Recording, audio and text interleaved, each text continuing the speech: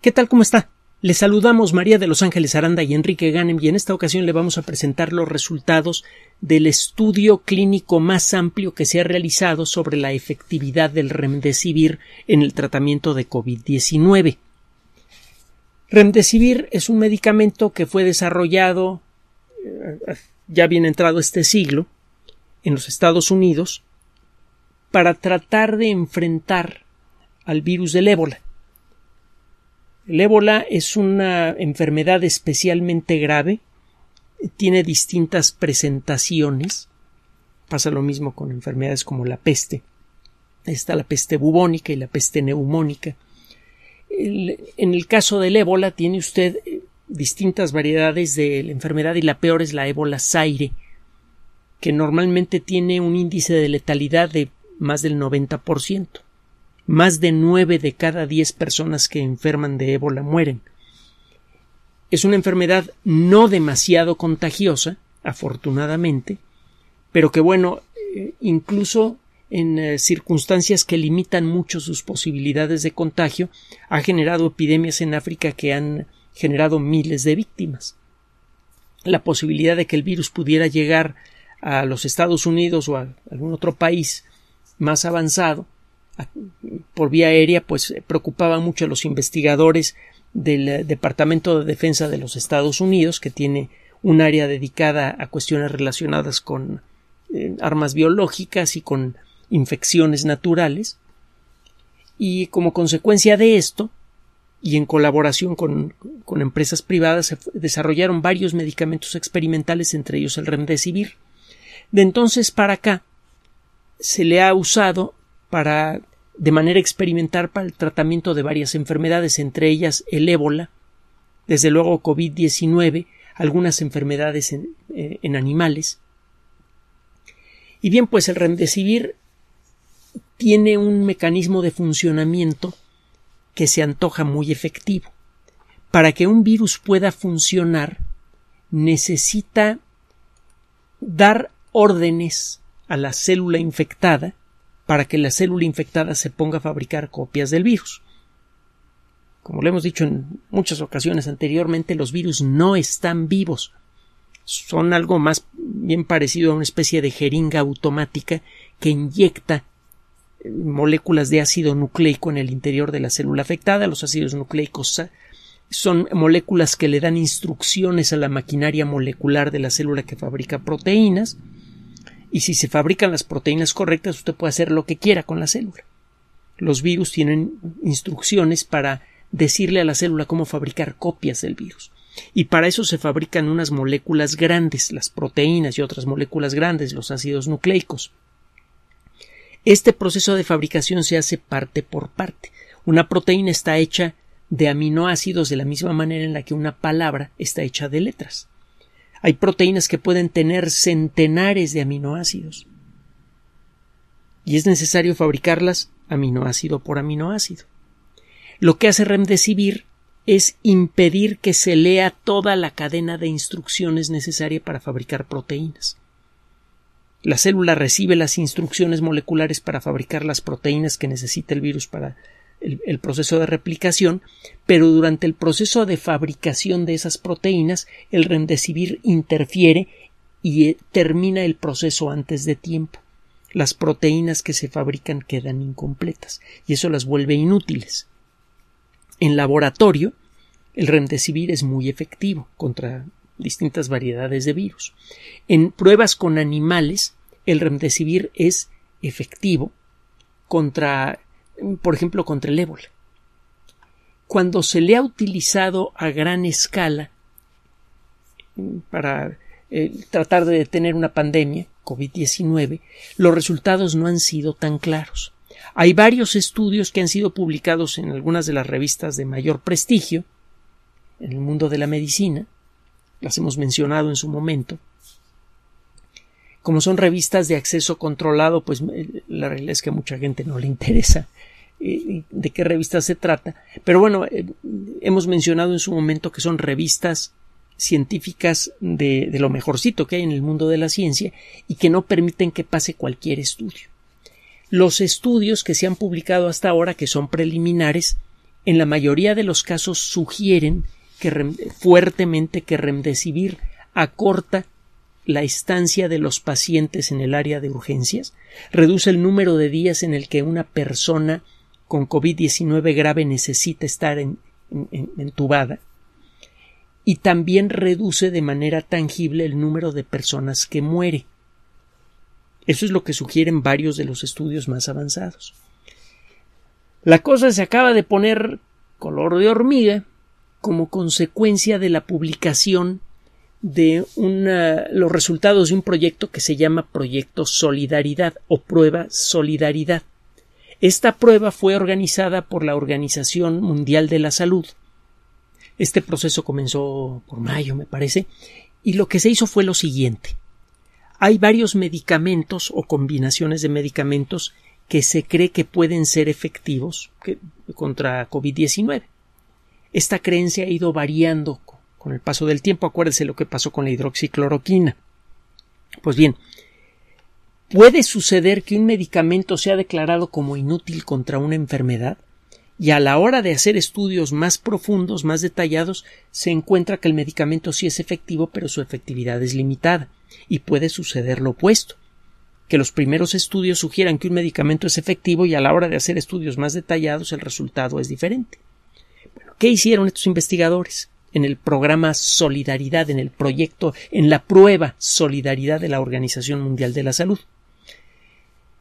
Se, se, le ofreció la posibilidad de participar en este proyecto a 11.000 personas hospitalizadas con COVID-19 que se encontraban en 405 hospitales en 30 países diferentes. Es decir, que había gente de todas las edades, gentes de todos los niveles eh, económicos, gentes de todas las ancestrías étnicas que se pueda imaginar. De esta manera se pretendía averiguar la verdadera efectividad de cuatro medicamentos diferentes contra COVID-19. A, a, estas once mil personas al azar se les asignó cualquiera de cinco tratamientos. El primero es el tratamiento estándar en el que se dan agentes antiinflamatorios y algunas otras cosas que se ve que tienen algún efecto positivo en el curso de la enfermedad. No mucho, pero algo ayuda. Ese es el tratamiento estándar. También estas personas podrían recibir hidroxicloroquina, es una posibilidad, remdesivir, otra posibilidad, lopinavir, un medicamento que ha sido sustancialmente efectivo contra el SIDA, no puede curarlo, pero sí lo detiene casi por completo, y también una sustancia que es, eh, es derivada de una sustancia que utiliza nuestro cuerpo eh, para hacer funcionar el sistema inmune que se llama interferón beta 1A. El interferón, los interferones son sustancias que estimulan a que el sistema inmune detecte una invasión por virus. Muchos virus son peligrosos porque entran al cuerpo y empiezan a hacer chuza con nuestras células y el sistema inmune ni se entera. El interferón beta 1A es como un jalón de orejas al sistema inmune para que despierte y busque una infección viral, con la esperanza de que detecte la infección por eh, SARS-CoV-2 y pueda actuar en contra de ella. Entonces, a estas 11.000 personas al azar se les dio cualquiera de cinco tratamientos. El tratamiento estándar, un tratamiento con hidroxicloroquina, o un tratamiento con remdesivir, o uno con lopinavir, o uno con interferón beta 1A. Los resultados acaban de aparecer el 15 de octubre y eh, todavía no son definitivos. Acaban. Acuérdese que hemos platicado en otras ocasiones que existen sitios electrónicos que ahora son bastante formales que aceptan trabajos en prepublicación. Usted escribe un artículo científico, pone todos los detalles, de, detalla la manera en la que está usted analizando sus datos, que esto es muy importante. Y eh, normalmente lo que hace, lo que se hacía era entregar el trabajo a una revista científica y la revista científica se lo enviaba a varios árbitros, se lo envía a varios árbitros. Los árbitros son expertos en, materias asociadas con el, tema de investigación. Por ejemplo, en un estudio como estos, se le manda una copia a un árbitro que sepa de eh, eh, virología, a otro que sepa de, de investigación clínica, a otro que sepa de estadística. Estos expertos revisan el trabajo y pueden hacer críticas, pueden decirle al autor, oye, mira, este procedimiento que utilizaste para analizar tus datos es poco claro, o sabes qué, tus conclusiones están equivocadas. Es sólo cuando ninguno de los árbitros tiene una objeción seria que el artículo es publicado y ese proceso puede ser lento. Lo que se viene haciendo desde hace tiempo para que un equipo de investigación diga oigan, yo soy el primero en descubrir esto, es prepublicar en un sitio de Internet. Eso le le avisa a la comunidad científica que existe ya un artículo sobre un X tema y que tiene X resultados preliminares que está en cola para ser revisado y luego publicado. Eso significa que el artículo todavía no debe considerarse como un artículo formal. Es común, y se lo digo por experiencia, que los artículos que pone usted en, eh, eh, que manda usted como propuesta para publicación les hagan observaciones. Muchas veces las observaciones que hacen los árbitros no impiden la publicación, pero sí la retrasan un poquito.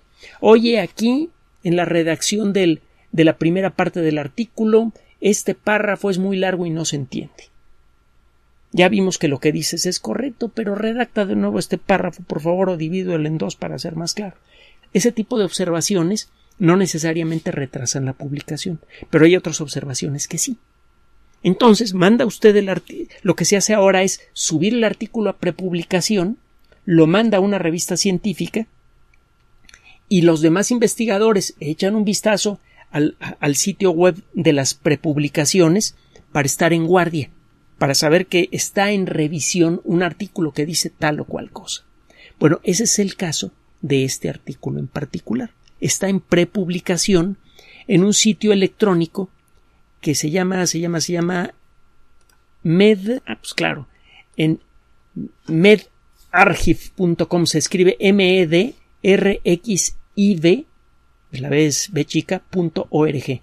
Es algo así como archivo médico en inglés, pero el comprimido.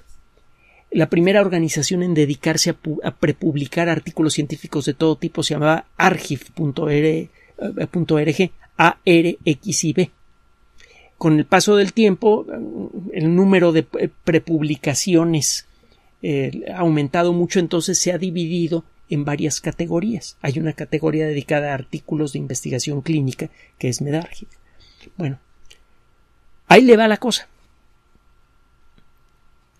Ya tiene eh, tiempo que varios estudios han señalado que ni el opinavir ni la hidroxicloroquina han sido efectivas de manera alguna para el tratamiento de COVID-19. Incluso hay algunos estudios que sugieren que la hidroxicloroquina aumente el riesgo en las personas que la reciben, en algunas circunstancias. Ahora, el remdesivir en varios estudios realizados por instituciones importantes, por ejemplo, el Instituto Nacional de Alergias y Enfermedades Infecciosas de los Estados Unidos, que es de gran prestigio, señalan que en promedio el remdesivir reduce en cuatro días la estancia en el hospital. Los pacientes que se curan se curan cuatro días antes en promedio cuando reciben remdesivir de acuerdo con este estudio.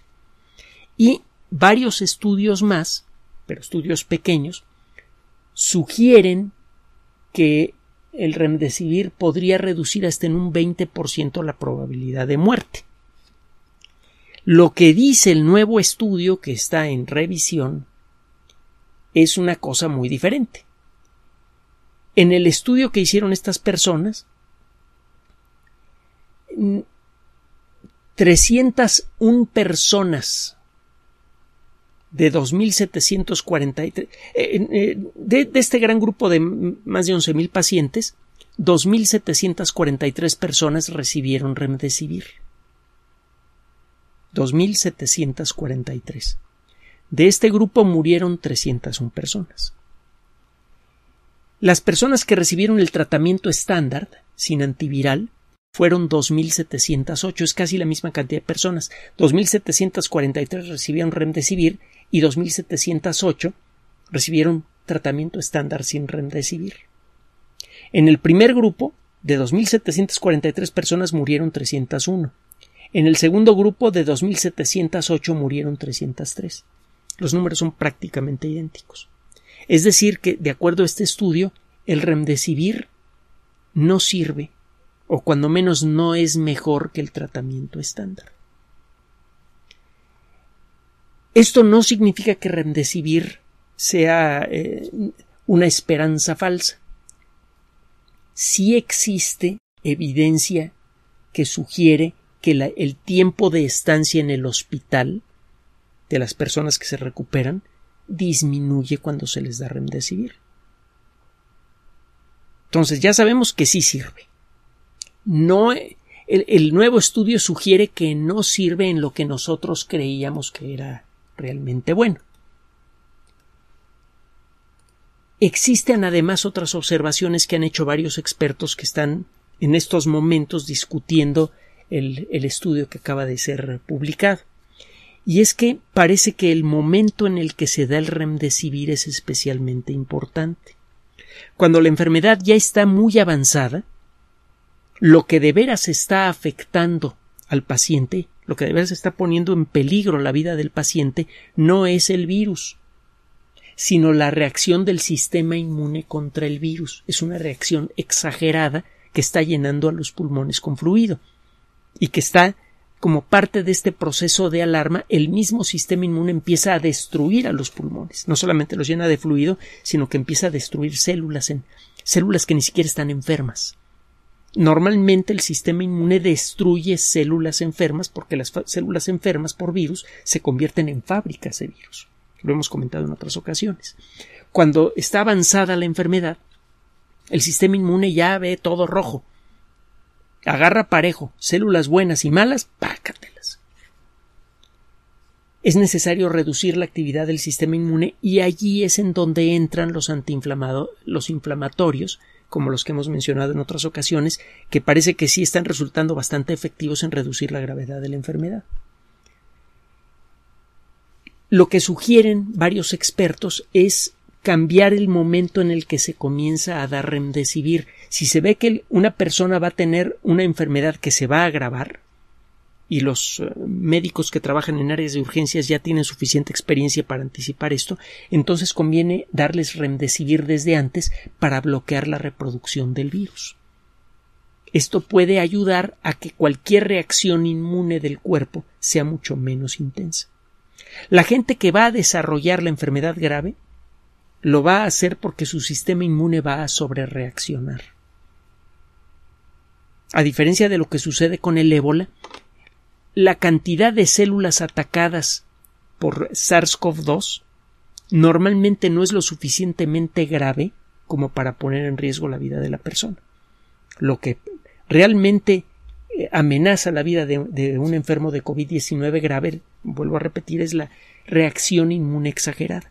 Entonces, si usted reduce la actividad del sistema inmune, le da chance al cuerpo de recuperar la cordura y atacar únicamente a las células que están infectadas por SARS-CoV-2. Y eso reactiva el funcionamiento normal del sistema inmune y eso puede ayudar a que la gente se cure.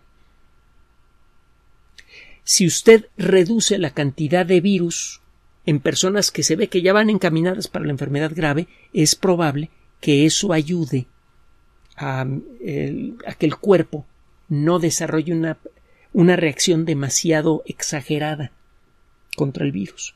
Eso podría reducir la gravedad de la enfermedad. Además hay otro detallito interesante que han pescado varios expertos y es que por tratarse de un estudio internacional realizado en muchísimos hospitales podrían existir muchos factores que pueden alterar mucho las conclusiones del estudio uno diría, bueno, pues este estudio está hecho con mucha más gente, debería ser mucho más confiable, pero no, porque no todos los hospitales tienen al personal capacitado y al equipo necesario para darle tratamiento a la gente con COVID-19 grave. Entonces, usted tiene un hospital eh, en, no muy buen estado, con poca gente, con poca experiencia y que no tienen suficientes eh, respiradores. Tienen personas que están desarrollando la enfermedad grave, que reciben remdesivir pero que necesitarían para sobrevivir ser intubados, pero no hay respiradores suficientes, el paciente no es intubado y muere, y eso aparece como una estadística en contra de remdesivir. A la hora de ponerse a estudiar, y en eso está ahorita la comunidad científica, los datos de cada uno de los hospitales, parece que está surgiendo precisamente este efecto un efecto de distorsión en las conclusiones generado por las circunstancias de cada hospital. Entonces, ¿cuál es la actitud de los expertos ante este estudio de precaución? Realmente el estudio es interesante, es revelador, pero llama la atención de que este estudio coincide con otros estudios que se han hecho sobre la hidroxicloroquina, el lopinavir, etcétera, etcétera. Pero no coincide con los estudios sobre remdesivir. Los otros estudios se han hecho en, en menos hospitales que tienen cuidados estandarizados. La calidad del tratamiento que recibe un paciente en cualquiera de los hospitales en donde se hicieron los primeros estudios es la misma. Esa atención estandarizada permite detectar realmente el efecto de remdesivir. El nuevo estudio hecho en muchísimos hospitales en todo el mundo, y algunos mejores que otros, podría tener este tipo de distorsiones. Entonces, si escucha usted en las noticias, el remdesivir no sirve, etcétera, etcétera, no, no, no, no, no, cálmese. Incluso los mismos autores del estudio conocen las limitaciones de todo esto que le acabo de comentar y con base en eso están diciendo, miren, eh, no saquen conclusiones sobre la efectividad real del remdesivir hasta que no hayamos discutido la validez estadística de los datos, porque existen dudas sobre las conclusiones que se pueden sacar sobre esta información. Les, escogimos esta nota primero para mantenerlo mantener la información tan completa como podamos sobre un tema que es de interés para todos sirve o no sirve el remdesivir, desde luego que es un tema muy delicado y muy importante, pero también porque probablemente va a escuchar usted la nota sensacional en otros eh, espacios y seguramente en, esas circunstancias o casi seguramente la va a escuchar usted distorsionada. No sabemos hasta dónde se pueda confiar en las conclusiones de este estudio en pocas palabras. Y escuche la otra cápsula del día de hoy porque hay otros medicamentos en línea que ya, ya están demostrando en las primeras pruebas en animales ser extraordinariamente efectivos. Así que cálmese, acuérdese que la ciencia no descansa. Cuando un científico está durmiendo aquí en México, otro está despierto en la India, o en Rusia, o en Europa. Y, y no uno, un montón, y todos están trabajando por usted y por su familia. Ayúdelos respetando las reglas que ya sabemos que funcionan, usar correctamente la mascarilla facial, mantener la distancia, salir lo menos posible de casa y eh, recuerde que la ciencia está de su lado. Gracias por su atención. Además de este canal oficial en YouTube, tenemos nuestro sitio web www.lexplicador.net, las redes sociales de siempre, Twitter Enrique-Ganem, Facebook Enrique Ganem, sitio oficial. Recuerde que también por sugerencia suya tenemos abierto un espacio en Patreon el explicador Enrique Ganem y en, PayPal el explicador patrocinio arroba gmail.com, gracias a los cuales sostenemos este espacio. Finalmente, el explicador siempre somos María de Los Ángeles Aranda y Enrique Ganem. Gracias.